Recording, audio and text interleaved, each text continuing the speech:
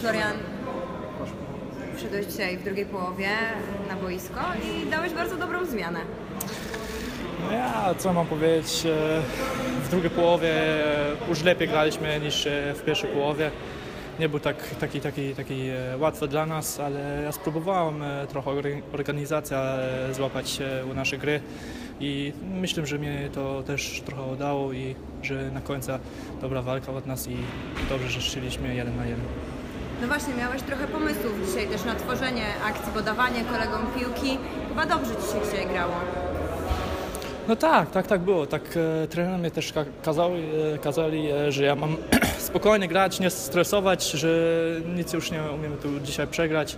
Było 1-0, ja przyszłem, jak przyszłem do, na boisko, fajnie mi udało, ale jestem bardzo dumny na, na, na naszą drużynę i na nasza walka. No właśnie, pokazaliście dzisiaj taką jedność. Walczyliście naprawdę od pierwszej do ostatniej minuty o to, żeby ta bramka w końcu padła i o to, żeby przynajmniej zremisować to spotkanie.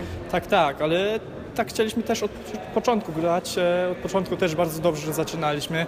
E, Szkoda, że, że, że Patryk e, dostał kontuzję, to nam bardzo, bardzo było dużo brak w gry, ale na końcu to dobrze zrobiliście, zrobiliśmy z matrasem i e, myślę, że, że musimy teraz e, dalej trenować i pracować teraz, że następny mecz możemy mieć taką dobry pomysł. Przed tobą reprezentacja.